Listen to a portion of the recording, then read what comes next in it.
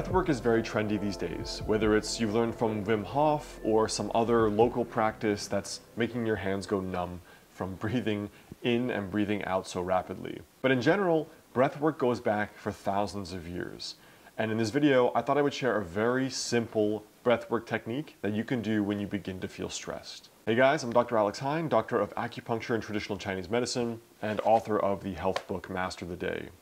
So before we jump into this video on breathwork, I have two very important links right below the video. The first is that there's a free guide, four daily rituals that can potentially help you add years to your life with traditional Chinese medicine. You can download that right below this video. And the second is if you'd like to learn about becoming a patient of mine locally in Los Angeles or virtually via telemedicine, there's a link below to contact my private practice. Now, in my mind, a lot of the yogic practices and a lot of the Qigong practices inherent to Taoism and Buddhism are probably the original forms of breathwork in the world.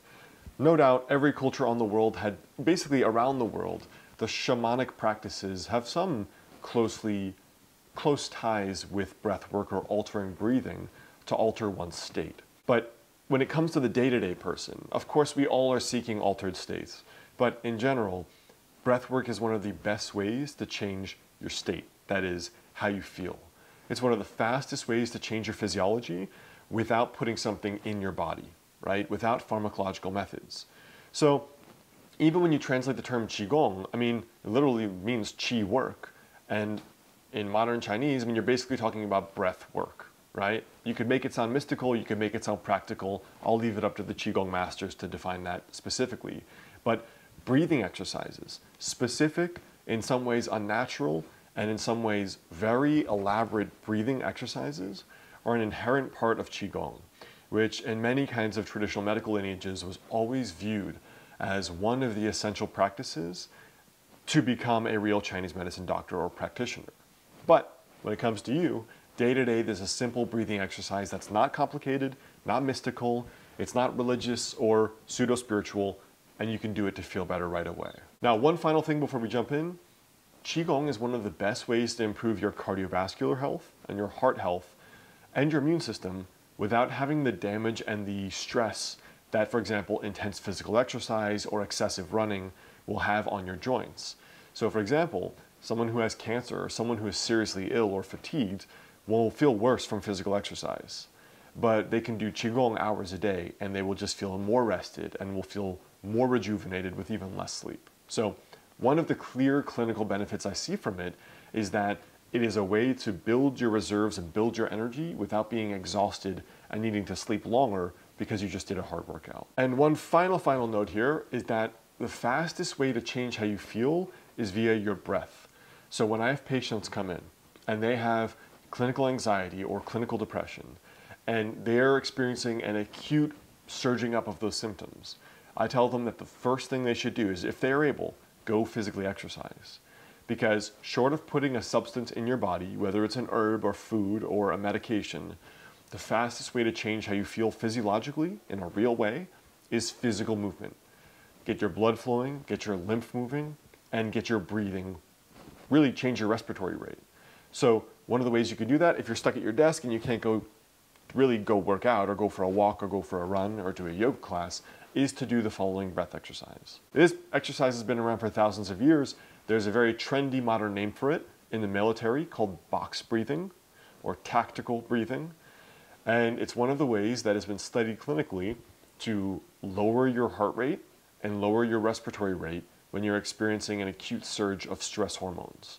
So I'm going to introduce you to this box breathing exercise and then we'll do it together and you can run with it and use it when you get stressed out. So the fundamental exercise for box breathing is just a basic breath count.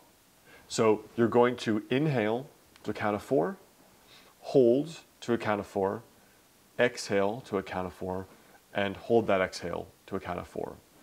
Drawing the box is often a helpful mental mnemonic, a reminder of in, hold, exhale, hold. So I'm going to draw this box as we do this exercise because it tends to be a useful way to just visualize um, the breath holds and the breath count. So for this box breathing, close your eyes.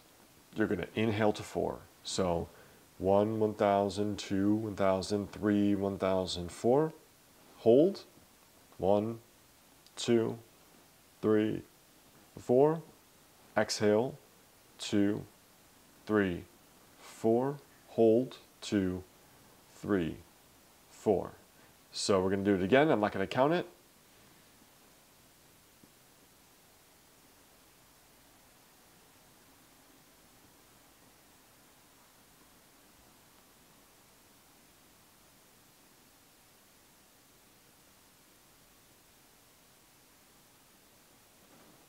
So one, two, three, four. Hold, two, three, four.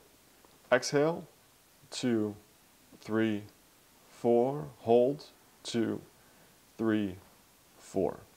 And even just doing that box breath, four, four, four, four, within two minutes, if you want to do something interesting and you have an Apple Watch or you're using some kind of Oura ring or biofeedback device, watch what it does to your heart rate in two minutes. And that will be the greatest evidence that this is the fastest way to get yourself out of the stress response.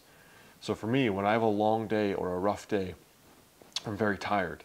Most often what I do is, if I have more time than this, I'll do just 10 minutes of lengthening and lengthening my breath, my inhale, and lengthening my breath, my exhale.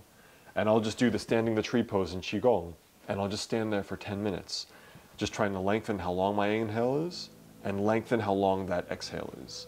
And my complete state has changed. So try that box breath when you're noticing your heart rate's getting elevated, you're feeling stressed, you're not feeling great, and you'll notice that short of exercise and going to do a workout is the fastest non-pharmacological way you can change your state.